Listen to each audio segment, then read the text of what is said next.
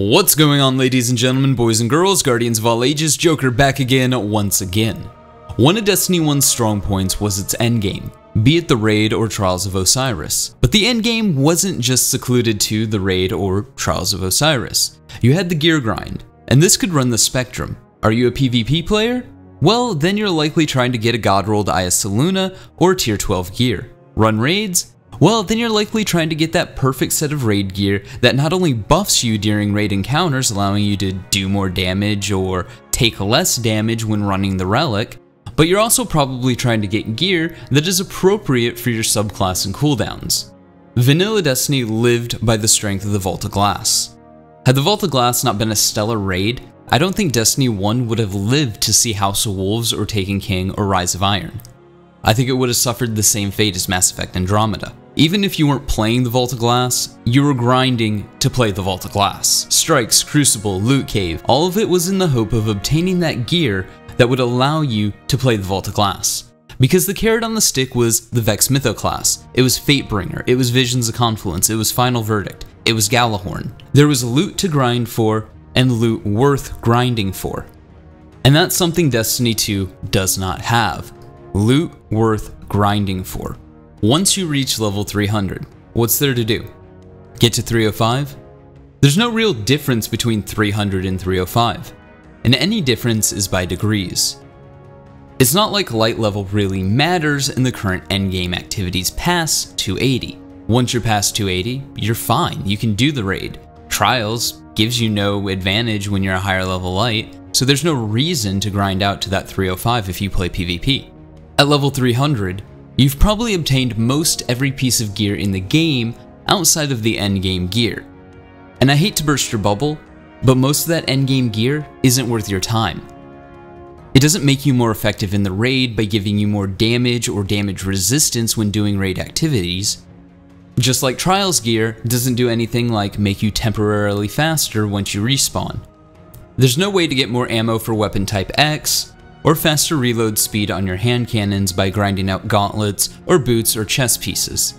And the reality of the situation is, there's just better and easier ways to get endgame loot than doing trials or the raid. Public events in Destiny 2 are infinitely more easier and rewarding than the raid and trials. That's just a fact. You can run an entire raid and get nothing but tokens that can only be used once you complete the raid, which is weird because generally the point of running these early encounters, even if you can't complete the raid, is to get gear so that the next time you try to complete the raid, it's easier. And yet, you can't do that in Destiny 2, because often you get nothing but tokens, which can't be redeemed until you complete the raid. So you get this arbitrary loot currency instead of things that will help you progress that you can't use until you progress past the end game, which makes it null and void and pointless. Anyone else but me see how criminally stupid this design is? But it's more than that. Why would I care about the Raid Scout Rifle when I already have better Scout Rifles, and the Raid Scout Rifle doesn't do anything in the Raid? Why would I care about the Raid Hand Cannon?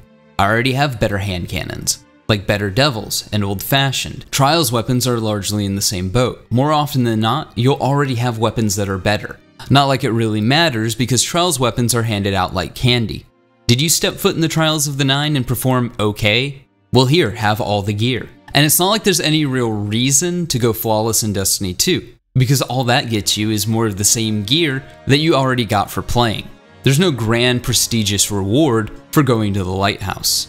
Most of Destiny 2's shortcomings seem to come down to this fear of elitism, because elitism is bad and it's evil and it allegedly creates toxicity within the communities. Instead of understanding that this will always happen, regardless of how much you make everything accessible and shower those who can't in gear and weapons simply for buying your game and existing, and just embracing that there will always be an elite, everything has been dumbed down all the loot has been made pointless and generic, and the hardcore endgame activities are often less rewarding than things like public events.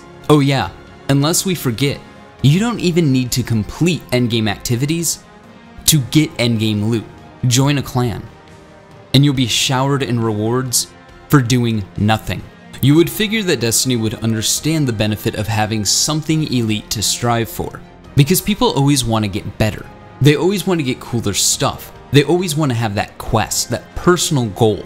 They want something to aspire to and for, even if it's unattainable. I spent the better part of two years playing Destiny 1 PvP, grinding for Naya Luna. Some of my fondest memories in Destiny 1 are getting completely drunk and grinding the Black Garden with my friend for an Imago loot that I didn't even want, but he had to have. And he never got it, by the way. Some of my best friendships were made by LFGing in the early days of Trials of Osiris and sticking together as a team and losing and winning and finally making it to the lighthouse. You would figure that Bungie would understand the necessity of having something to aspire to, be it getting a god roll or getting as good as Triple Wreck or the legend himself. You may never achieve these things, but there was that road in Destiny 1. You could walk down it. You could better yourself. In Destiny 2, there's none of that. But like always, ladies and gentlemen, boys and girls, guardians of all ages, those are just my thoughts.